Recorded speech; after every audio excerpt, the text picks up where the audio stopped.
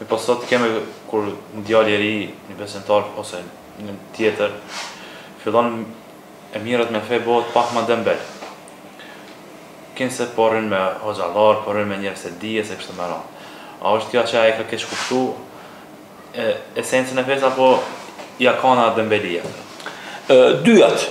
E para ka keqkuptu pozicionin e tij. Unë jo rastësisht i përmenda shembujt e muslimanëve të parë për me tregu se domethënë nuk është arsye qëndrimi afër me një hoxhë edhe shërbimi i tij që ai të largohet nga obligimet e veta.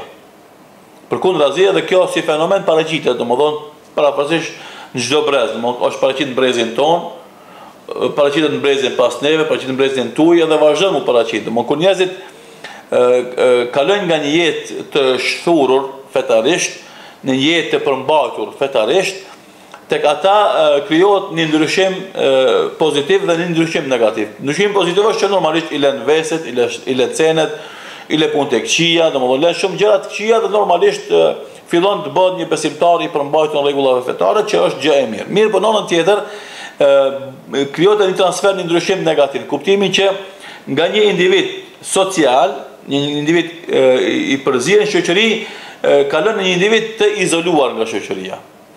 Nga një individ që ndikon shoqërinë, ndoshta për të keq, ndoshta edhe për të mirë, se ka për shembull njerëz që nuk janë të udhëzuar fetarisht, po ndikojnë pozitivisht shoqërinë, domethënë pa marrë parasysh, kanë kanë vizion dhe kanë elan pozitiv për të ndikuar për shembull për të motivuar studentët me studiu, për të qenë të guximshëm, për të qenë domethënë njerëz me aspirata të lartë e kështu me radhë. Edhe tani ai kalon nga ajo fazë në fazën e izolimit, domthonë thjesht bllokohet nga shtëpia në xhami, nga xhamia në shtëpi dhe nuk ka kurrfarë projekti me të cilën do t'i shërben shoqërinë e vet, popullin e vet, shtetin e vet, vendin e vet. Edhe kjo pa dyshim është dukuri negative. Bile bile në vitet e para pak më herët Kishte raste shumë kur një numër i madh i atyre që kalonin nga jeta e shthurur fetarisht në jetën e përmbajtur fetarisht, kalonin kalonin në ekstremin tjetër që ata edhe e braktisnin edhe shkollimin. Edhe bëhej domethënë shembull i keq, edhe ishte argument i madh i një pjese të shoqërisë që thonin që ja feja u bë shkaktar që ai të largohet nga shkollimi. Elhamdulilah sot më po nuk është ashtu, shumica e rasteve sot është korrigju kjo si veprim, fal angazhimit të hoxhallarëve, do ta them sepse është dashtë shumë të rrihet kjo temë për ta tejkalu si sfidë, edhe si fenomen i cili u paraqit, flas para 20 viteve normalisht.